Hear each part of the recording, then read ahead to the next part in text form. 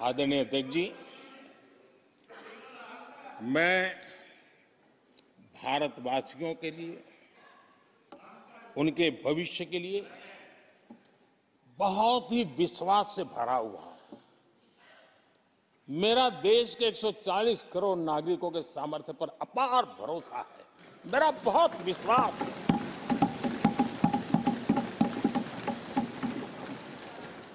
दस वर्षों में 25 करोड़ लोग गरीबी से बाहर आए ये सामर्थ्य दिखाता है। आदरणीय अध्यक्ष जी,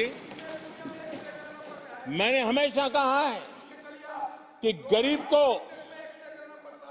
अगर साधन मिले, गरीब को अगर संसाधन मिले, गरीब को अगर स्वाभिमान मिले तो हमारा गरीब गरीबी को परास्त करने का सामर्थ्य रखता है और हमने वो रास्ता चुना और मेरे गरीब भाइयों ने गरीबी को परास्त करके दिखाया।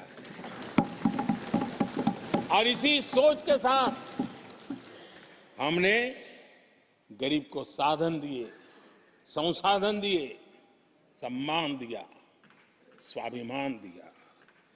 पचास गरीब पचास करोड़ गरीबों के पास आज बैंक खाता है। कभी वो बैंक से गुजर नहीं पाता। चार करोड़ गरीबों के पास पक्का घर है।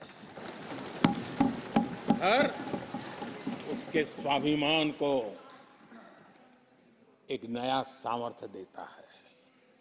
11 करोड़ से अधिक परिवारों को पीने का शुद्ध जल पानी नल से मिल रहा है। पचपन करोड़ से अधिक गरीबों को आयुष्मान भारत कार्ड मिला है। घर में कोई भी बीमारी आ जाए, उस बीमारी के कारण फिर से वो गरीबी की तरफ़ लुढ़क न जाए, उसको भरोसा है, कितनी भी बीमारी क्यों ना आ जाए, मोदी बैठा है। 80 करोड़ लोगों को मुफ़्त अनाज की सुविधा दी गई है। आदरणीय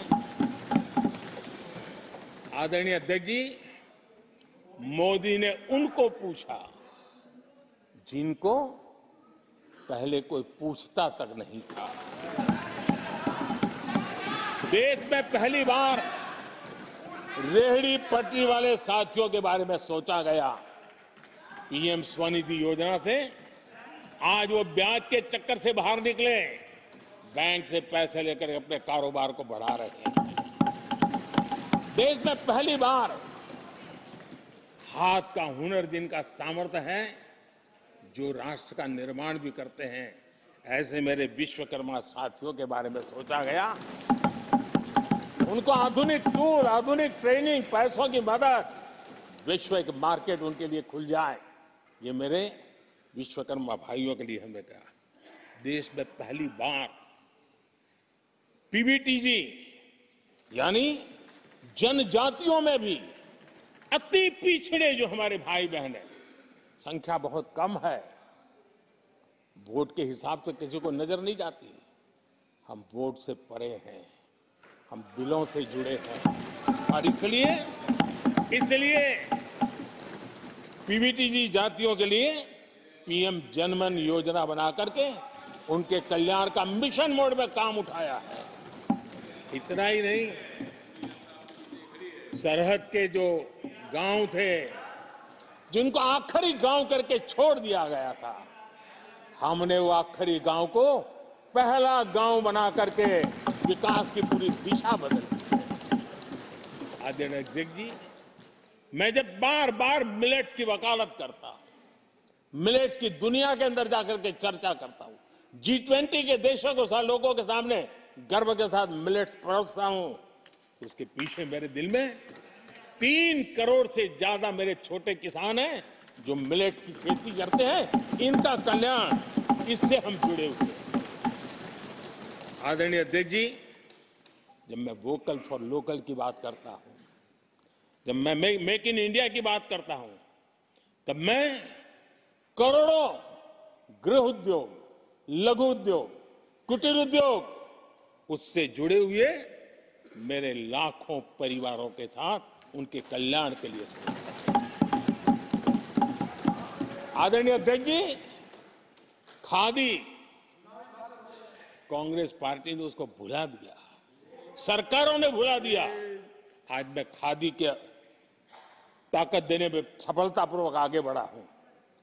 क्योंकि खादी के साथ, हैंडलूम के साथ करोड़ों बुनकरों की ज़िंदगी लगी हुई है। मैं उनके कल्याण को देखता हूँ। आदरणीय अध्यक्ष जी, हमारी सरकार हर कोने में गरीबी को निकालने के लिए, गरीब को समृद्ध बनाने के लिए अनेक विविध प्रयासों को कर रही है। जिनके लिए वोट बैंक ही था, उनके लिए उनका कल्याण संभव नहीं था। हमारे लिए उनका कल्याण राष्ट्र का कल्याण है और इसलिए हम उसी रास्ते पर चल पड़े